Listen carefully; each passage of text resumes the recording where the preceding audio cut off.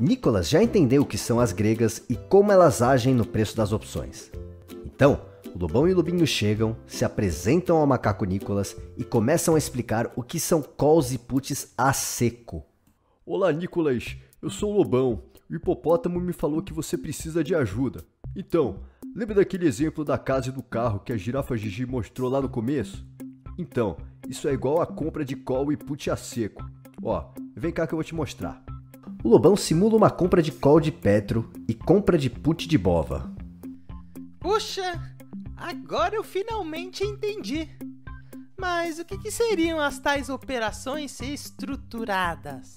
Bem, às vezes queremos tentar apostar na alta ou na queda do valor de um ativo.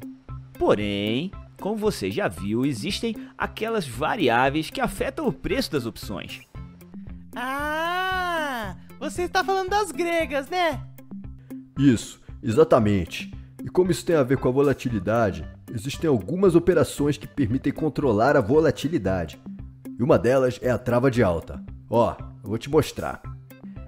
Para explicar exatamente a diferença entre elas, o Lobão simula uma trava de alta com call e com put no Opilab e mostra para o pequeno macaco como tudo funciona.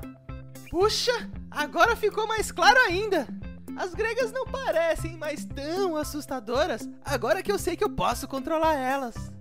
Isso mesmo, Nicolas. E o mesmo pode ser feito com a tendência de queda de um ativo. Chamamos isso de trava de baixa. Olha só.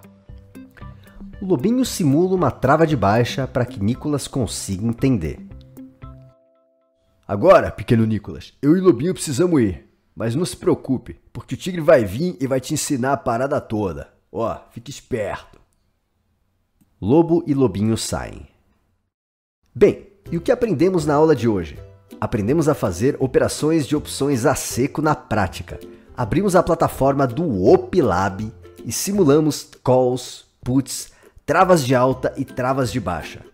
Agora, Nicolas já sabe o que são opções, já sabe o que são as gregas e também sabe como montar as opções na prática no OpLab. E agora vem um conceito mega importante, mas só vamos falar na próxima aula. Você quer saber qual que é? Então, ó, já se inscreve no canal que a próxima aula você descobre.